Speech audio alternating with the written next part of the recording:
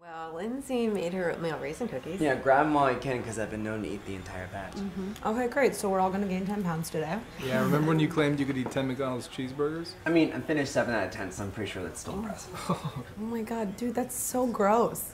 Trust me, the aftermath most definitely was. So I'm guessing there's going to be no cheeseburger served at the wedding. no, we will be skipping the fast food portion of our wedding. Well, you know, forget the food. I've secured DJ Rookie. DJ Rookie? Is that a DJ? Uh, yes, he's easily the undisputable best hip hop DJ in the city.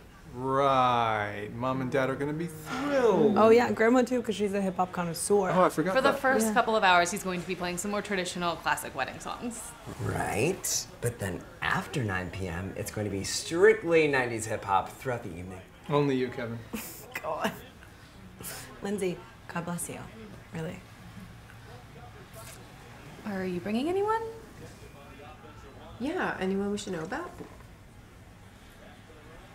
No, it's just me. But I'm sure that mom will be pimping me out to any single guy within 10 feet of me. As long as he's over six feet. Very true, because height's really her only requirement. Yeah, she's gotta stop showing her Facebook to random people. Well, she's only doing it because she loves you. Exactly. I know, I know. Do you guys want any more beers? Yes. Me. I'm good. Please. Me too.